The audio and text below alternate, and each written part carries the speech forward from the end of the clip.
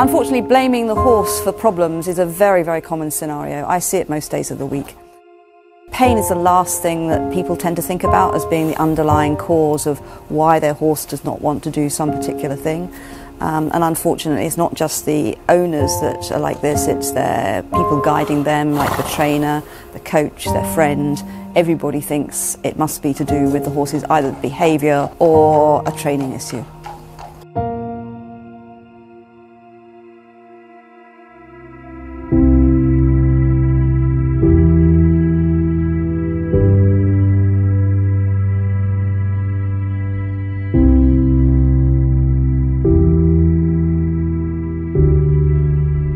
My name is Caroline, founder of Equitopia.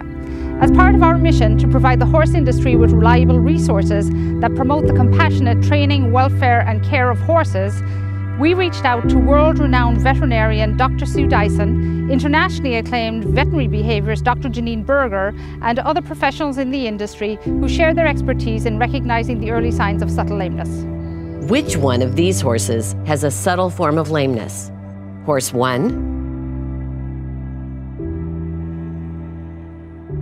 Horse 2 or Horse 3?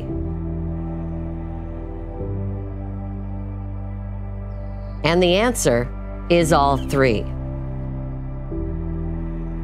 I believe that a very high proportion of horses have some form of lameness. We did a survey of 506 sports horses which were in normal work and the owners had not recognised any underlying problem and 47% of those had either lameness or other gait abnormalities such as a stiff stilted canter that I know through my daily work are likely to be underlying pain related problems. Now, that doesn't mean that they couldn't cope with those problems. Some of them were low grade, but some of them were also pretty obvious. So to say that they were all low-grade problems is not necessarily true.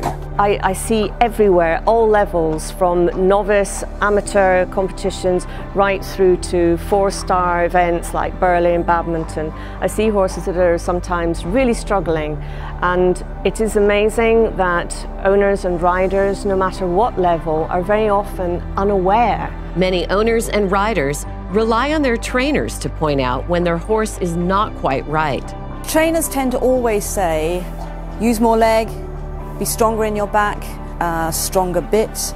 Work him through it.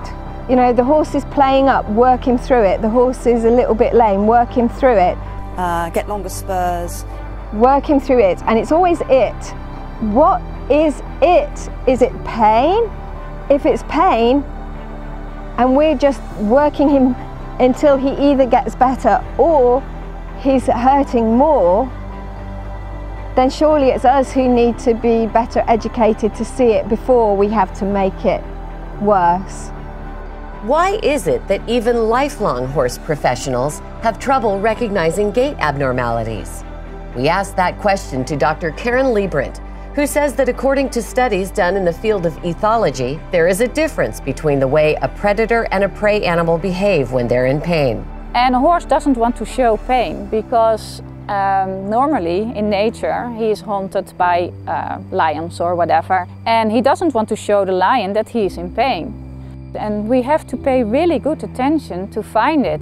And there is absolutely no doubt that if the horse is uncomfortable or worse still in serious pain, that they will adjust their gait, they will adjust their way of going because they're uncomfortable in an effort to try and relieve this discomfort. Horses are very good in compensating. So if a horse has pain on his left front leg, he will change his way to his right front leg and he will change a few things in his back all to compensate and he, get a, he will get a little bit of pain in his back and a little bit of pain in his hind legs. Okay, she's lame. We have various scenarios of the onset of lameness.